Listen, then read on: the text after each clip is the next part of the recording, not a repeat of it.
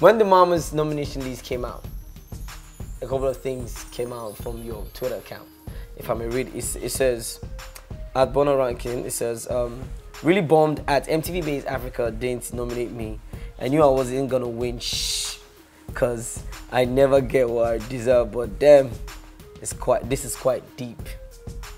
Where was this coming from, basically? I mean, usually I really don't, I don't get affected by awards and stuff, but Yeah. I saw that my fans were really affected. You understand? And if you affect my fans, then it affects me deeply.